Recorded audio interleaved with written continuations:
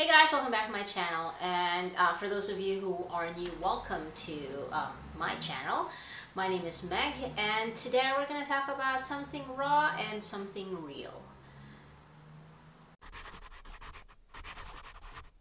I haven't sat down um, to film a video like this for a while like there's there's been a lot of vlogs lately but there's something that I feel is very important for me to address right now. Um, and so this is actually going to go up before my previously recorded videos. Um, and this is all about my shopping addiction, my spending uh, habits. And it's very difficult for me to sit down here and admit to this but I will.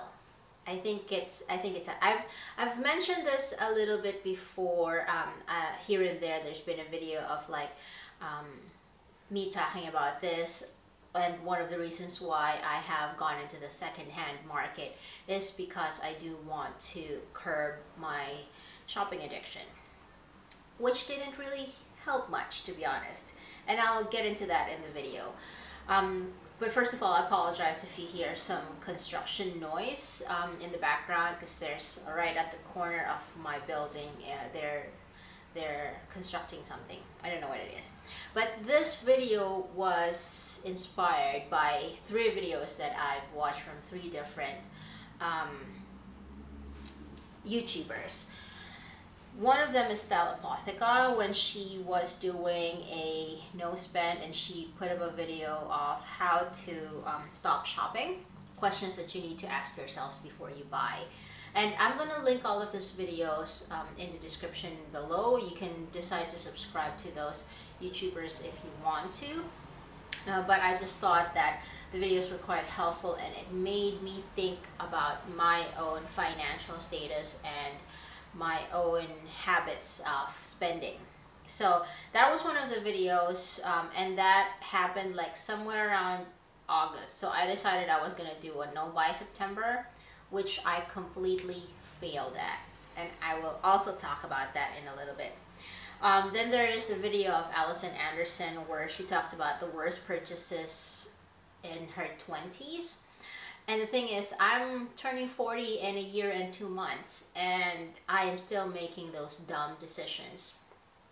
And one of the things that really struck me in that video of hers when, was when she talked about the fifth um, reason why she spent all that money in her 20s, and it was because of her fantasy self. And that really, really resonated with me, and I was like, damn, that's me like it, it was almost like she was looking at me talking to me pointing her fingers at me. Okay. And then the last one was a video of Emma Hill where she talks about how to spend less on the wardrobe. And on one of those things um, that she mentioned was obviously the secondhand market and also um, like asking yourselves questions before you buy. And is it really a need and there was also that question about what lifestyle do you have and what is your personal style um, you would have noticed and I'm gonna just go ahead and dive in you would have noticed if you've been with me for let's say the last five years and I know some of you have been here for longer than that um, you would have seen me transition from wanting to be a beauty guru to doing a little bit more of like a fashiony kind of videos.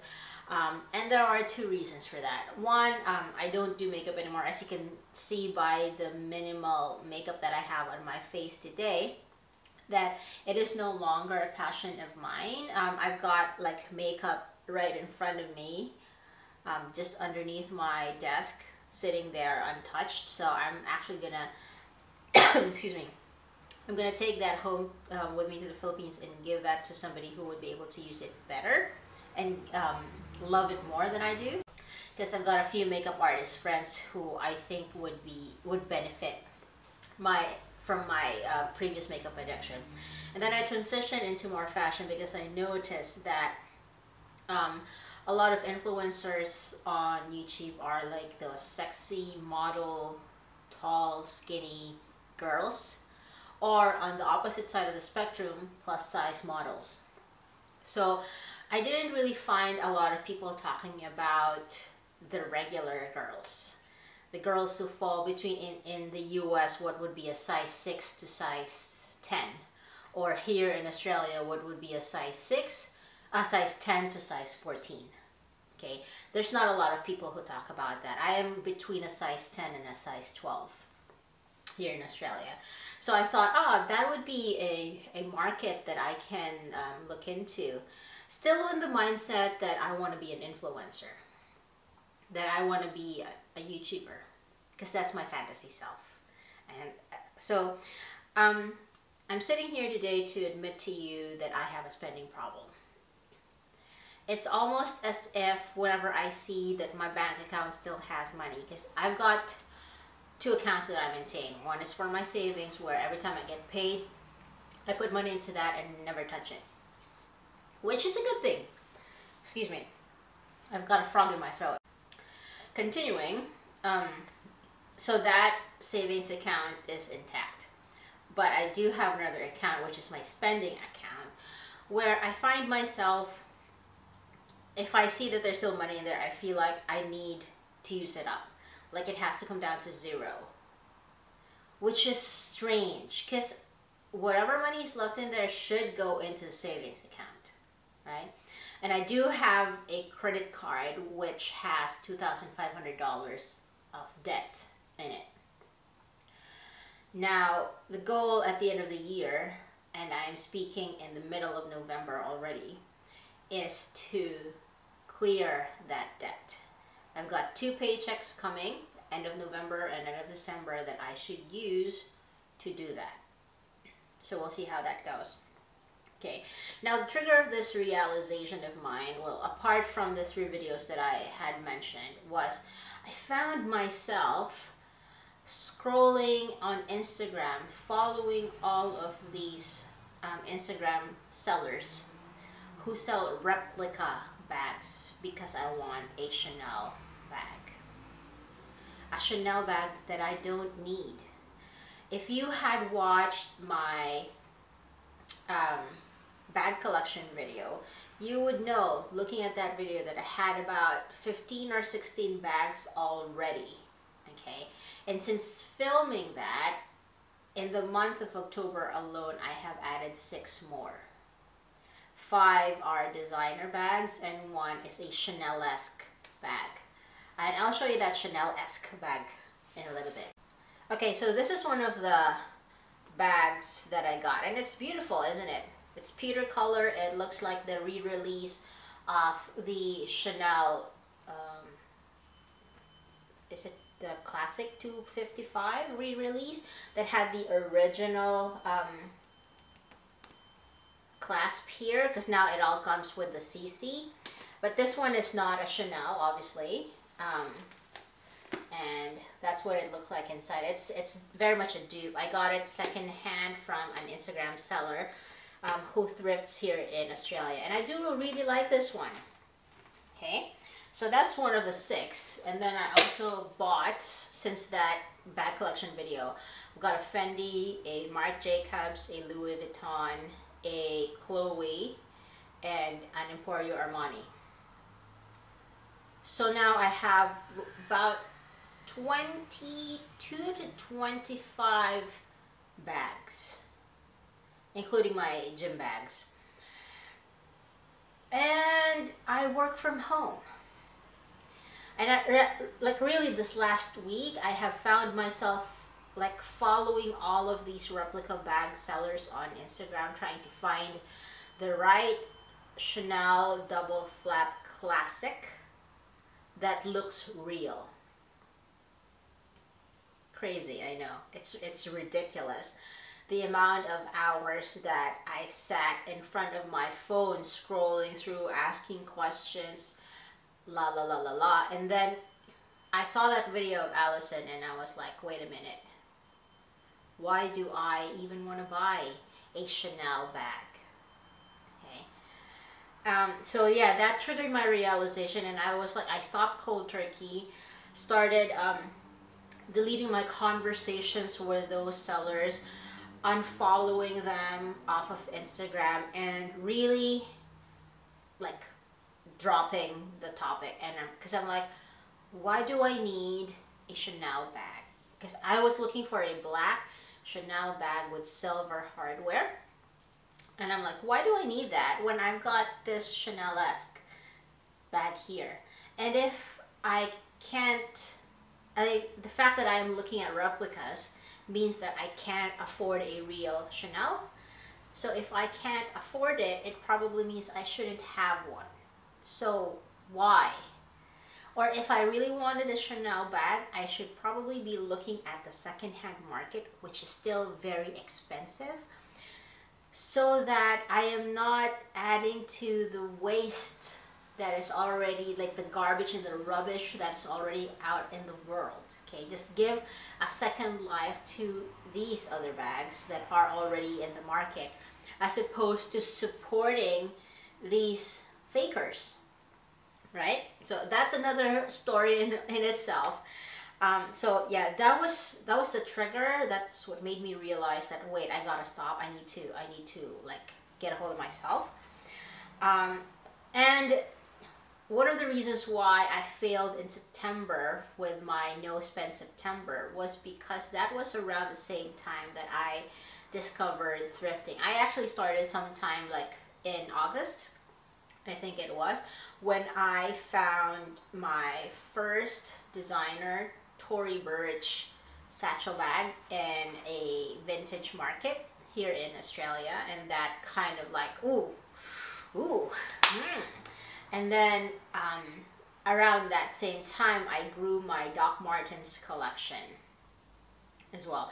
And I know that I have a problem with shopping because I find that when I stopped buying makeup, I started buying shoes.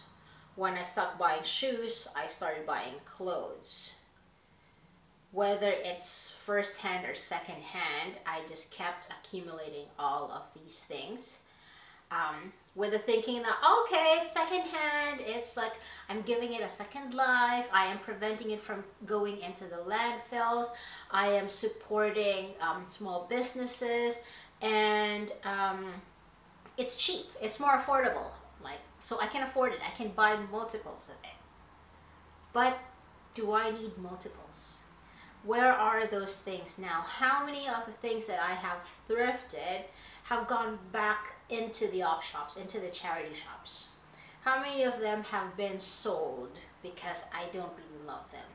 And how many times have I gone into an op shop or a thrift shop or a charity shop, however you want to call it, okay? How many times have I gone into one of them and bought something because it had the brand, it had the label, but not because it was something that I was actually looking for, that there was a gap in my wardrobe that I had to fill, or because it fit me so well and I'm in love with it. I've bought jeans from Seven, uh, Seven for All Mankind and other stories, um, Levi's, Diesel, what else? Cheap Monkey, Cheap Monkey, Cheap Monday oh, Cheap Monday, um, and Guess and Armani because of the label, but not because they fit me well. And where are those jeans now? They are somewhere. They are in a pile that I am going to give away, that I'm going to put back into or give back to donate to op shops or bring home to the Philippines to give to my less fortunate relatives. That's where they are. They're not in my closet being worn. So that's probably one of the biggest mistakes that I've done when thrifting is one, looking only at the label and not the fit, and two, buying it because it's cheap, even though I don't need it. No matter how cheap and how much it is on sale, if you don't need it, that is still an expense. Okay, it's not an investment. And don't ever think that clothes and handbags and shoes or whatever that cost thousands of dollars is an investment because it's not. Okay, and the reason why I have been doing all of this shopping, I think has been brought to my attention by that video of Allison when she talked about the fantasy self. I've been on YouTube in this particular channel since October of 2009, so 10 years now. 10 years I've been on YouTube. 10 years I've been trying to break into YouTube um, to be an influencer. Starting out as like a beauty guru and now more of a fashion conscious um, influencer, if you will. And in that 10 years, I've never succeeded. I am still on 6,000 followers. My viewership doesn't even go up to 100 views per video. So, you know, my fantasy self is that I am this famous YouTube influencer who goes out to parties and attend events and has to post OOTDs every day and cannot be seen in repetitive clothing. Right? That's my fantasy self. But my real self is somebody who works from home from a, for a tech company, lives in t-shirt and shorts, in this case a polo shirt and, and jeans because it's kind of cold today. Um, doesn't really go out is lazy doesn't like to party never was a party person. Even in my youth even in my teens or in my early 20s i was never really somebody who went out to party okay? I'm somebody who is in bed at 10 o'clock and if i'm still awake at 10.30 gets grumpy. So i honestly, I don't even need this Chanel-esque bag because this is more of an evening bag and I don't go out in the evenings unless Duncan and I have a date night and that's like once a week. Once every two weeks even. So I've been accumulating all of this makeup, these clothes, the shoes, because I'm imagining that I have this lifestyle that I don't have.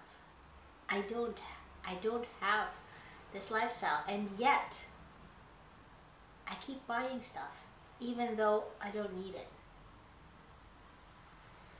So, like I mentioned, the goal at the end of the year is to one, pay off that credit card that has $2,700 in debt.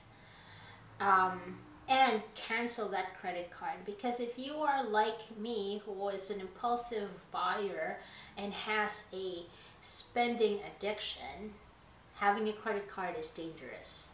And it is also not financially wise to have it. Okay? So that is the goal at the end of the year. I have two paychecks left to complete that. I am going home in december so i'm assuming i'm going to be spending some of the money that I have in my savings account. But yeah, this is my reality and I wanted to talk to you guys about it because I feel like this is something that has become a problem since YouTube influencers started. Um, and I'm not blaming them um, because at the end of the day, it is a job that they have to do and even without them, there would be celebrities endorsing all these products to us it is more my problem because I don't have self-restraint and discipline. And but I'm not the only one out there. So as part of my journey towards being a conscious consumer towards my journey in becoming more financially savvy and towards my journey of inhibiting this character flaw of mine I would like to make myself accountable and put this out there and hopefully this video would help out other people who may be struggling in the same way, who may have the same issues as I do. Um, and let's help each other out. I am going to do a part two of this video, an update to this video in January to let you guys know whether or not I was able to curb my shopping addiction as well as to um, let you know whether I paid off my credit card and if I've canceled it. And what has been my experience, if it has been difficult or if it has been worthwhile. I, I have a feeling it'll be worthwhile, but it's, it's going to be hard. I know it's also going to be hard. So if you have any questions or comments or suggestions on how I could make this journey a little bit easier, could you please leave them in the comment section down below. If you have videos that you want to share that would help me um, with this, I would really, really appreciate it. Thank you very much. Yeah, I think I think that's it. Uh, and thank you for listening to me for this whole, I don't know how long this video has become now, but yeah. Thank you.